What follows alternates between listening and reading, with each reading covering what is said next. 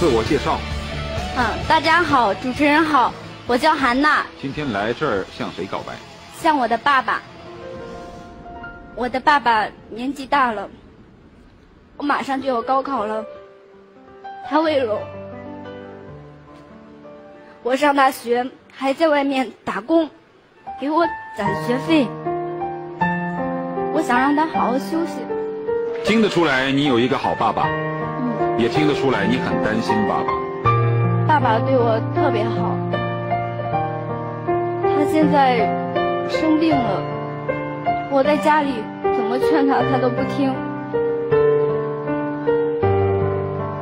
一开始，他骗我是胃病，因为我爸爸他有慢性胃炎，当时。我也没在意。有一天晚上，我在家里写作业，然后我就听见我爸爸房间里有痛苦的声音。我当时就以为他是胃病，我就跑过去，可是看见我爸就捂着胃，满头大汗。我就赶紧找来我的邻居，送到医院之后，医生说要化疗。当时听到这个词儿。我就明白了，我爸爸其实得的不是胃病，是癌症。他住院没几天，他就回家了。回家之后，他交给我一个存折，存折上，他告诉我说家里还有一万多块钱，让我拿着它去上大学交学费。我爸爸说，希望我考上好的。医科大学，成为一名好的医生之后，可以帮助更多的人。那你今天来跟他告白，你的，你的告白的内容是什么呢？我想让我爸爸同意我不参加高考，让我去工作，让我可以给他治病。你的成绩好吗？在班上排名多少？呃，第二名。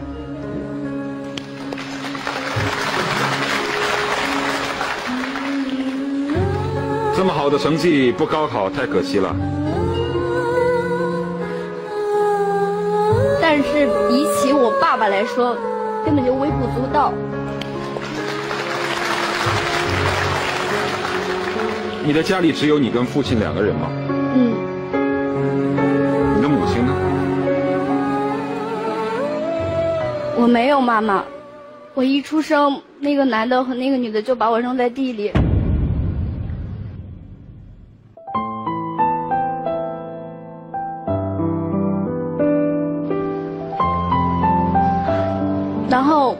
爸爸就碰见了我，把我抱回家。他看见我的时候，就给我起名字叫韩娜，因为那是诺诺的意思。他希望我有一个美丽的人生。一九九六年，韩俊瑜在草丛中发现被遗弃的女婴，已婚的他毅然把女婴抱回家，并取名韩娜。因为坚持抚养这个捡回来的女孩，韩俊宇两度离婚。虽然父女俩相依为命，日子过得清苦，但是韩娜没有让韩俊宇失望。韩娜以优异的成绩考上了冀州市重点高中，考上一所好大学，成了韩俊宇对韩娜最大的期望。然而，在二零一三年。韩俊宇被查出胃癌和肝癌晚期，看着每日遭受病痛折磨的父亲，韩娜来到我们完美告白，希望能放弃高考来照顾父亲。那么，在知道韩娜的想法后，已经癌症晚期、即将不久于人世的韩俊宇会来现场接受韩娜要放弃高考的告白吗？如果那天现实的那天真的到来，爸爸真的不在了。你想过你该怎么办？一开始我想的是比较极端的，因为给我的感觉是，爸爸是唯一一个关注我的。我觉得我对任何人都不重要，我活着就是一种负担。我对我爸有特别深的愧疚。他一个很很完整的家庭，因为我的原因没有了。因为我，他放弃了工作，甚至我认为他现在得病是因为我的原因。我想，如果有一个人跟他分担的话，因为我是一个女儿嘛，他肯定会有一些事不愿意跟我说。我觉得可能是一些心理原因。然后当时我就说，如果我爸爸不在了。我就跟着他一块儿去了。我猜你父亲应该是个很坚强的人，我看你就很坚强。嗯，他在这儿说着说着，眼睛一直是往上看的，硬憋着泪水就是不出来。我必须要坚强，因为我爸爸现在生病了，我要倒下去的话，他那就没有人了。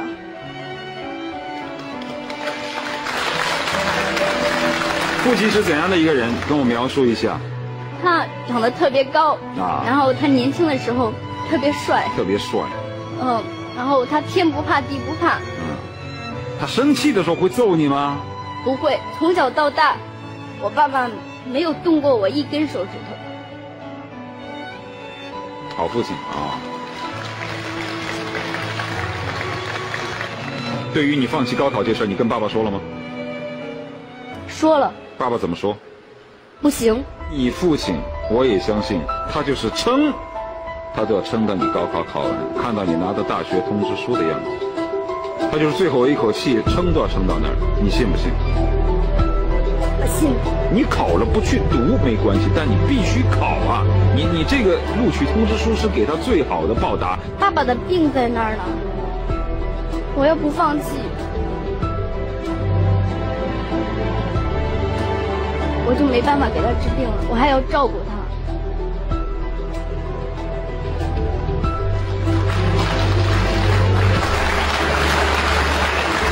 那么今天你的父亲会不会到来，我们也不太清楚。接下来要你开启告白之门，你做好准备了吗？做好了。来，请站到开启告白之门的按键旁边。问你几个问题。面对你这样的诉求，要放弃高考，你觉得你父亲会来吗？会来。如果他不来，他就是要你参加高考，自己的病没关系。反正我老韩这一辈子，唯一的目的就是看着这个闺女能够考上大学。那我就会出去工作。你会出去工作，你还是要放弃高考？对。是这个意思吗？是。你真的准备这么跟他说啊？你想气死他？你不认为这是一种不孝吗？我爸爸现在生病了，而我却高考，高考大部分就是为了自己嘛，为了自己有个好的前途。我爸爸四十四十多岁的时候收养了我，然后等他生病的时候，我还在说，为了我的高考不给他治病。我觉得。我就是一个白眼狼了。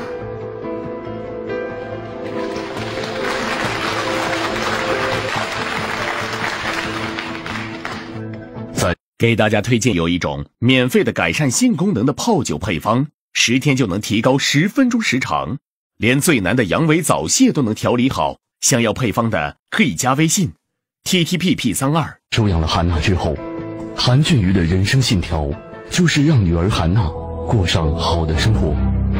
自从患病后，韩俊瑜不但没有去医院治疗，反而忍着疼痛继续打工赚钱，想为女儿存上一笔学费。今天，罹患肝癌、胃癌晚期的韩静宇会来到现场接受女儿韩娜要放弃高考的告白吗？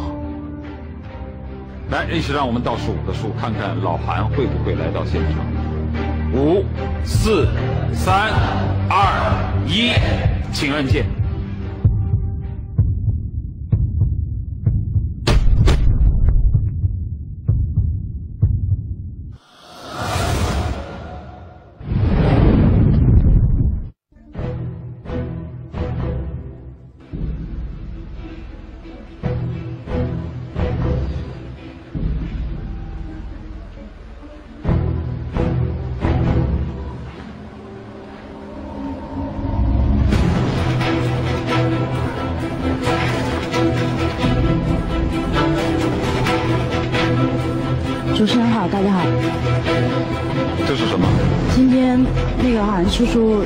给韩娜带来了两份礼物。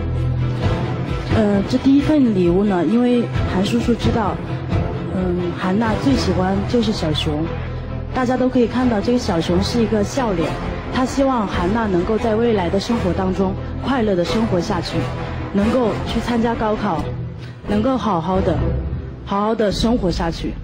然后另外，就是在我们去之后，然后韩叔叔交给我们的一封信。但是在拆开这封信之前呢，我希望韩娜能够先看一段视频，这也是叔叔所期望的。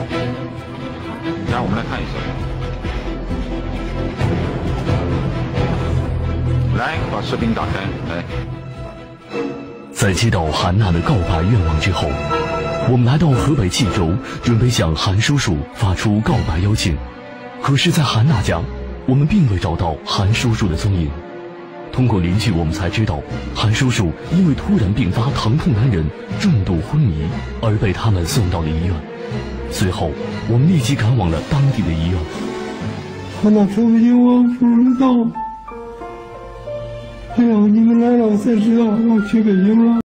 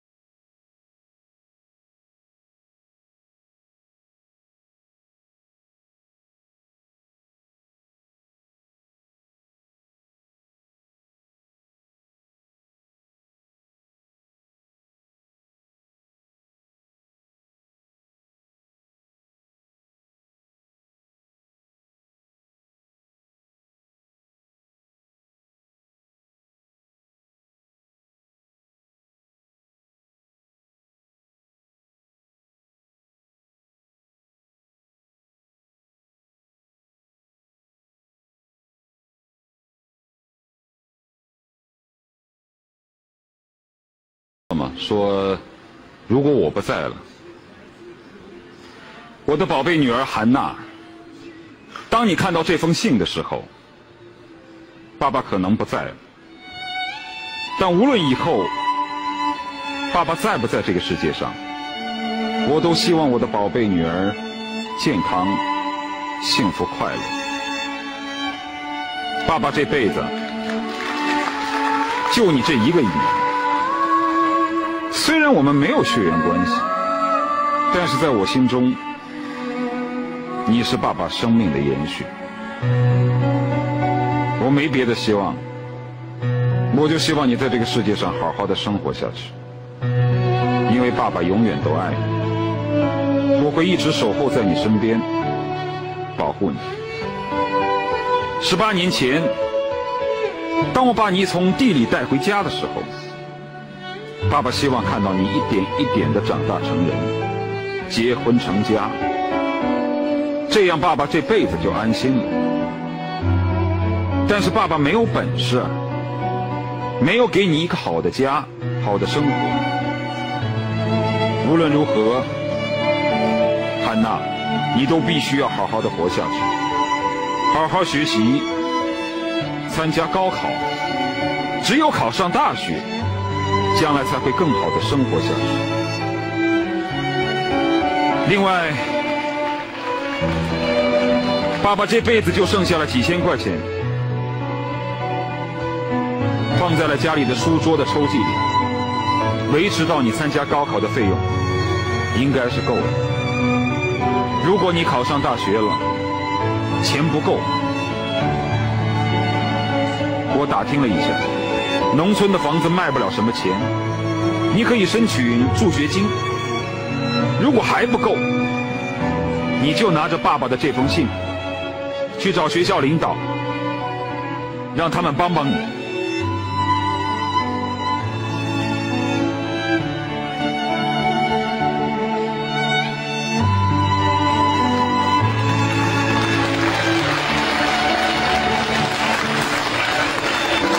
记得你小时候，一看见爸爸给你买的小熊就会笑。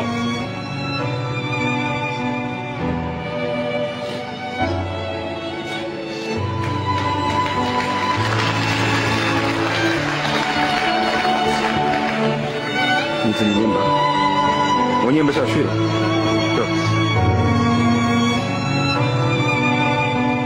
还记得你小时候？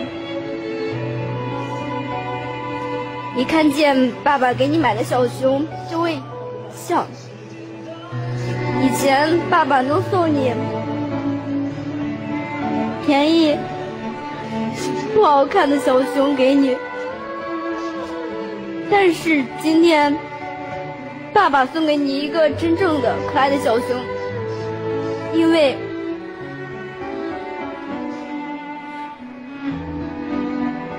这是。爸爸，最后可以给娜娜的一份礼物。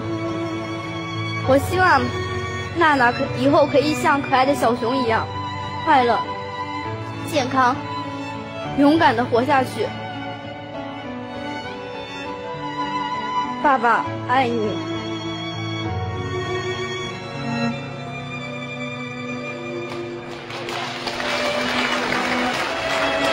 爸爸最舍不得你。爸爸，韩俊宇，二零一四年四月二十三日。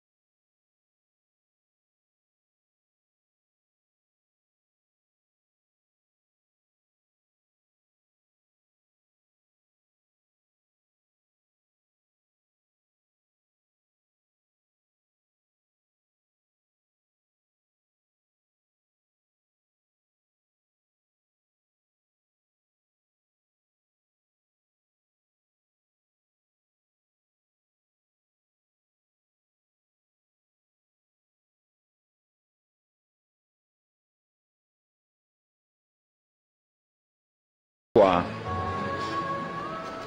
我没办法照顾他呀。他在忍受着病痛的时候，他把好多事儿都想，他就觉得自己已经是没什么用了，他这辈子没什么本事，挣不了什么钱，也就最后留下你几千块钱给你维持到高考的费用。那么实在不行，那你就拿着我的这封信，我能够帮助你的就这么一点儿我就读到这儿，我就不行了，我就不知道你为什么读完了这封信之后，你爸是这么死乞白赖的，就非要让你去考，你为什么就不考？因为高考也可以明年再考啊。但但是你考了可以不读啊，至少你考了可以了达一个心愿呐、你先考了再说啊，这是一份成绩，是份大愿的，你可以不读啊。但是我现在需要需要去工作，你现在工作能挣多少钱，能够解决多少燃眉之急？我可以陪在他身边，我就满足了。你也可以高考，也可以陪在他身边啊，我想全心全意的陪着他。全心全意，全心全意只是个说法。有些人人在心不在，有些人心在人不在。你不管现在在哪个地方，哪怕是高考的时候，你都想着我是为了我爸在高考，你的心就跟他在一起。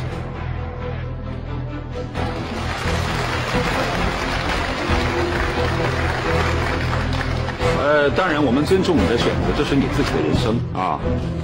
呃，接下来还有一段视频要给你看。你说你要放弃高考，至少是今年，对不对？对，有一段视频要给你看一下，来，我们一起来看看这段视频。韩娜，你还记得吗？高一刚开学的时候，我们一起军训，在那个宿舍里，经常就是我洗衣服比较笨，然后你经常会帮我洗衣服，帮我打水。现在你不在，我经常一个人回宿舍，有的时候真的挺孤单的。希望你能早点回来，然后我们还可以一起像以前一样玩，然后还可以一起回宿舍一起睡觉。韩娜，我们等着你回来，加油！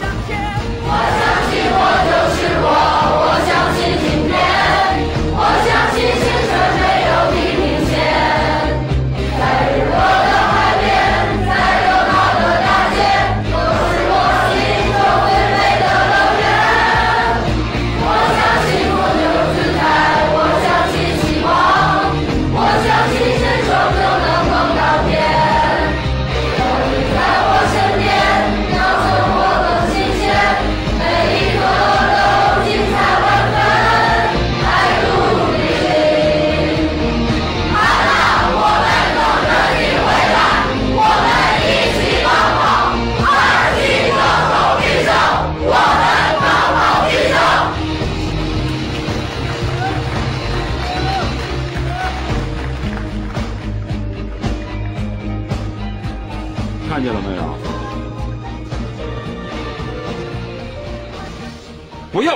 上的陪伴。你现在即便去工作，你解决不了燃眉之急。你说你的心要全心全意陪着父亲，但是你在他身边照顾他，去陪他，你不如努力的参加高考。你要是考出了好的成绩，不管读或不读，这对你爸是一剂强心剂，他会觉得活着还有希望。你说呢？但是我爸爸现在需要人照顾啊。现在需要人照顾，你所指的生活当中的一些生活对呀实现的这个一请故宫这些问题，社会的一些相关机构会帮你解决这些问题，要不然你上我们这儿来干什么呀？另外，我再问一下，呃，你有梦想？有你的梦想是什么？考上一所医科大学，然后成为一名中医，可以在医院里工作。想成为一名中医，想成为一名大夫，对解决像你爸这样的患者的痛苦，是吗？对，如果我跟你说，学费的问题可以解决，你去不去高考？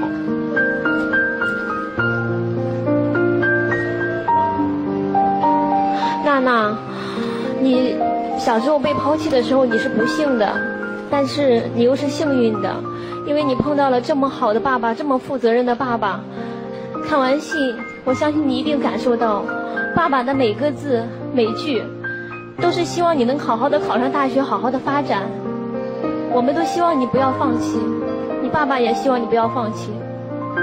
我觉得这位父亲太伟大了，伟大的让人特别的敬佩，就是这种没有血缘关系的一种父女亲情，让我觉得真的是，啊，我想向这位父亲深深的鞠上一躬。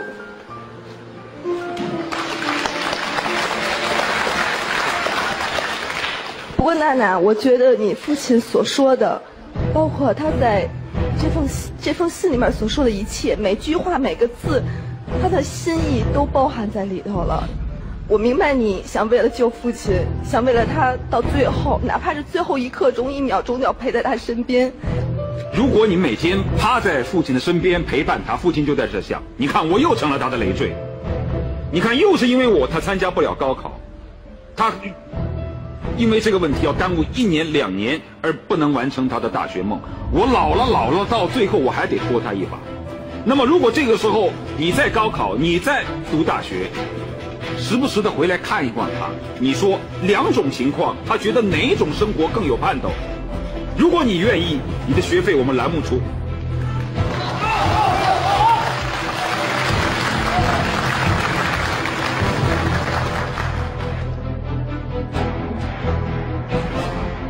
爸爸，我会参加高考。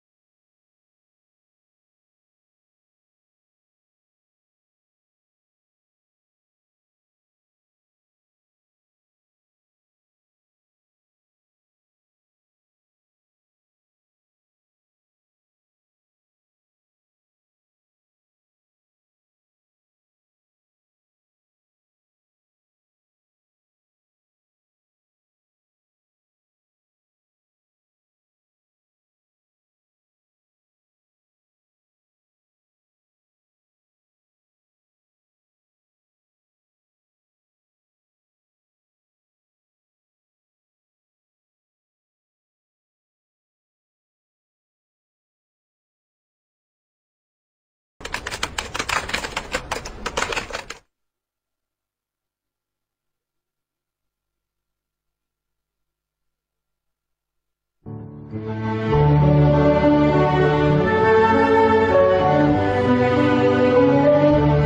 育了韩娜十八年的养父韩俊宇去世后，韩娜将孤苦伶仃生活在这世界上，无依无靠。